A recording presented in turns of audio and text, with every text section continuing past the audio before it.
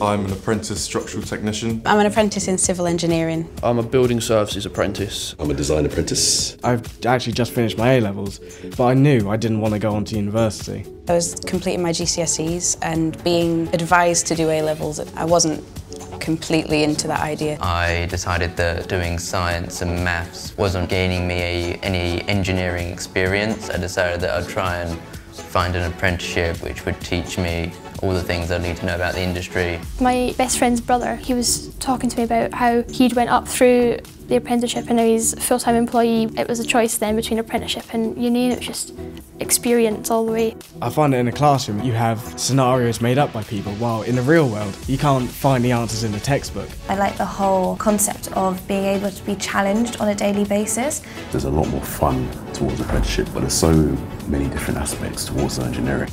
Usually on my day-to-day -day, I'll be designing below ground drainages, I'll be talking to manufacturers about products, specifying and everything will change depending on the situation.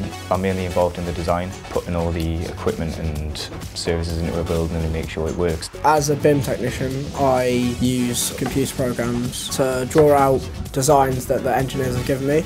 They've given me projects to work on, like projects within projects they've kind of put me in charge of and it's like it's a really nice responsibility. I think the best bit about my job is coming in every day and knowing that whatever I'm going to do will make a big impact. Going to see the finished product and actually being able to say, oh yeah, I did that. Getting to work with people that I want to aim to become and now that you look at somebody and you can think like that is achievable. I worked on a project in Canada, it's a 33,000 seat stadium and I was involved in interpreting the ductwork and the pipework. That's finished now and it's quite good to see the finished product and knowing that you were involved. Probably the most interesting project I've worked on is the, the mailbox in Birmingham. I was responsible for doing some of the lighting design. Ancaster House because it's like a standing point for gaining the trust within the industry. North Whiteley, so they want 3,500 housing units.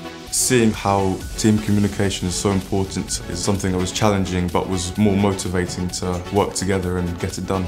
With the apprenticeship you also do one day at college a week. The stuff we do at college really helps me at work because right at the start of my apprenticeship I knew nothing about any of the calculations. It was college that gave me all of that information. A professional qualification can benefit any student because they're getting their qualification alongside their working knowledge. We work really closely with ICE and CIBSE to grow our standards and make sure our standards are good enough for the qualification that we're delivering. I mean, it's all well and good having the experience, you're never going to be able to progress onto higher routes if you don't have like the qualification backing.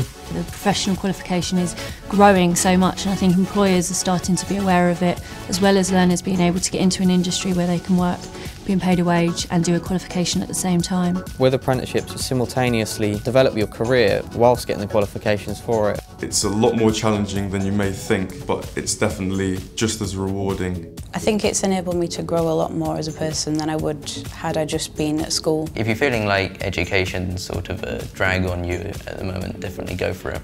I felt with an apprenticeship, I know what I'm working towards. I know what I can achieve.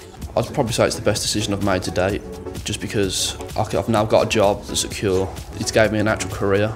I'm only a few years into my career and I've already been working on it, things I'd never thought I'd get the chance to do. If anyone wanted to apply for an apprenticeship or to find out more about an apprenticeship, you can go on the National Apprenticeship Service website, which is apprenticeships.gov.uk, or you can apply to us directly.